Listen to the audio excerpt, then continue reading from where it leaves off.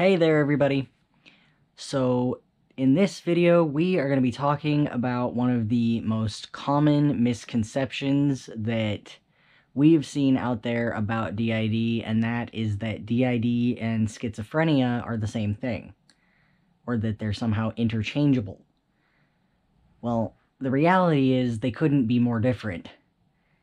First of all, schizophrenia generally is seen in people from their late teens to early 20s.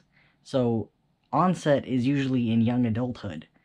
Whereas DID, the onset is between the ages of infancy and about nine years old.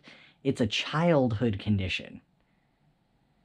Second of all, schizophrenia involves delusions, difficulty with concentrating and thinking, and hallucinations.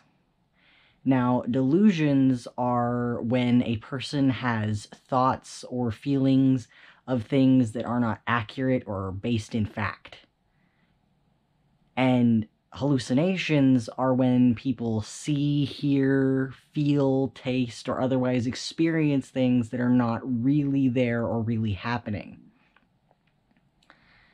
In DID, you have a single body with multiple identity states that control the behavior and overall function of the body and the actions taken by the body. You have amnesia of the traumatic events and in most cases the events surrounding other system members being out and while you will have some memory difficulties, you never lose touch with reality, which is often seen in schizophrenia.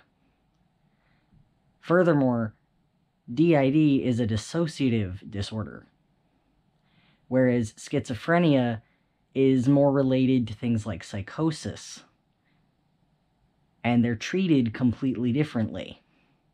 DID is treated with long term talk therapy, with EMDR, eye movement reprocessing and desensitization, to help deal with the triggers and difficulties of certain memories. And overall, it's a condition that takes quite a long time to manage, but it certainly can be managed with therapy alone.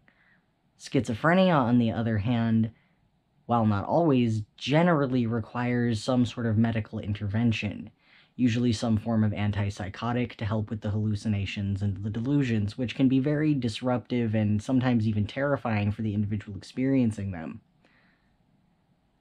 So, overall, the two disorders have nothing in common.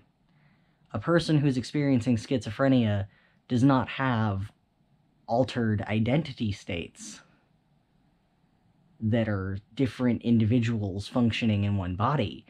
They have an altered perception of reality due to the delusions and hallucinations that they're experiencing.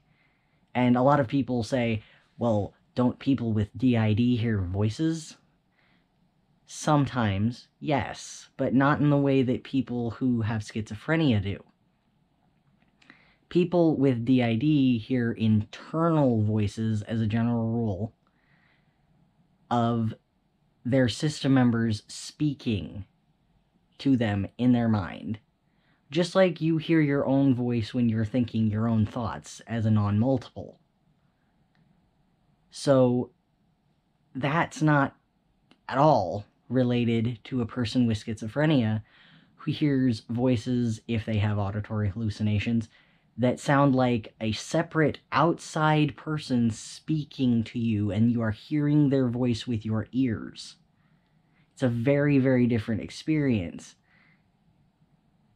And unfortunately, because of this misconception that they're related, a lot of times people who are really dealing with DID are often misdiagnosed as being schizophrenic usually because one of the first things that a lot of people with DID say if they go into therapy and they've been hearing the voices of their system mates is that I'm hearing voices.